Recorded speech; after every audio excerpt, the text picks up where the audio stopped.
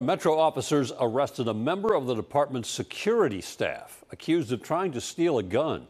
Guard Justin Hawkins works at Metro Police headquarters in South Nashville. Yesterday, a citizen turned in two guns. Hawkins was supposed to hand them over to an officer. Police tell us he kept one of the guns in his backpack.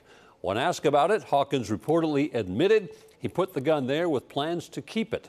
Hawkins was arrested and is currently free on bond.